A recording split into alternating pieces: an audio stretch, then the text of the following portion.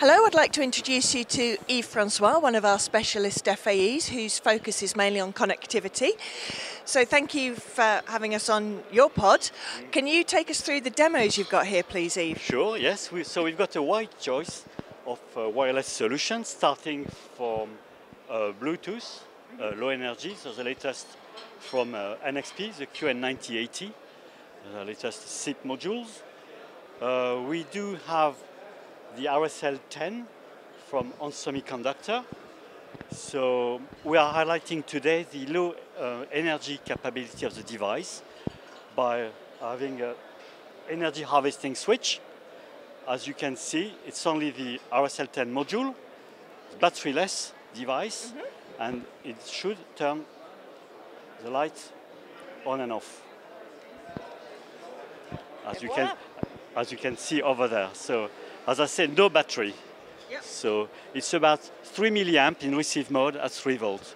That's the lowest in the industry. In terms of other demo, we've got uh, UHF from ON Semiconductor. So ON Semiconductor are specializing in precision sensing, like temperature, moisture, uh, proximity. So that can be used application like if you want to check humidity in where you've got uh, bus bars, for example. So you can deploy RFID system. Okay. So that's very interesting solutions. And then moving on then around moving the booth, we've got um, a well-established uh, BLE mesh from ST, running as an example on the BlueNRG-1 device. It could be, you could run the same stack on various ST processors and modules. Uh, moving on, we've got two Panasonic demos.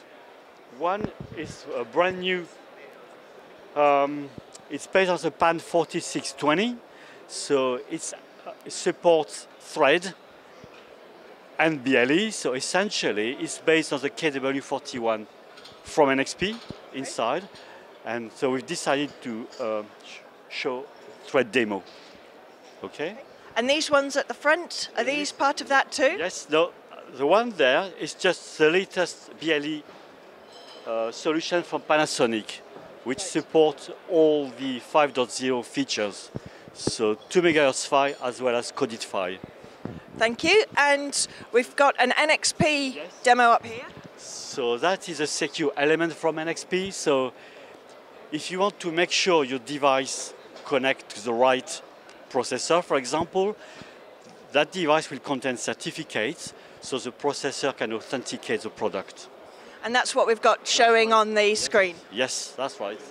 So that's a short, in five minutes, what we have here today. Thank you very much, Yves. You're welcome.